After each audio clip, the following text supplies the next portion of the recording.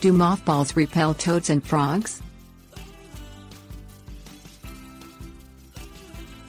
Homeowners with a frog or toad problem are often desperate to rid themselves of the evening singers and croakers. In trying to find a solution, some have turned to using strategically placed mothballs in the home and yard. While mothballs have been found to repel frogs and toads, using them in this way is illegal and may do more harm to humans, animals and the environment than the frogs and toads do. Mothballs active ingredients Mothballs are small, crystal white balls that look innocuous but have lethal effects on fabric pests.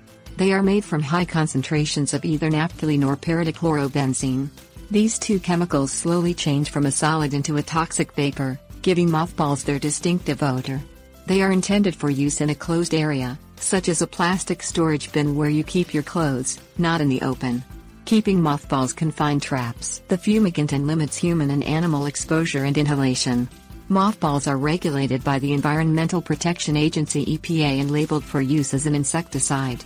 Because of this, using them for a purpose other than to destroy fabric pests is illegal. Health concerns Mothballs placed anywhere in the home or yard become a safety issue, especially for children and animals including pets who may ingest them or inhale the vapor. Nausea, vomiting, headaches and dizziness have been reported from exposure to both naphthalene and paradichlorobenzene mothballs, which also can irritate skin, eyes and nasal passages. Naphthalene, whether ingested or inhaled by humans or animals, causes damage to the red blood cells in the body, resulting in hemolytic anemia. Once in the body, paradichlorobenzene breaks down into other chemicals that can cause cellular and organ damage. Paradichlorobenzene has also been found to pass through breast milk. Environmental dangers When placed in the environment to deter frogs and toads, mothballs often melt, allowing the chemicals to contaminate soil and leach into groundwater and other waterways. If placed in a garden or yard, the chemicals in mothballs can bind to elements in the soil and be absorbed by growing plants in your garden. Mothballs placed near water will end up in the water. If you have a pond on your property, fish and other wildlife will be affected by the chemicals. Other ways to deter frogs. Frogs and toads are natural predators of many garden pests.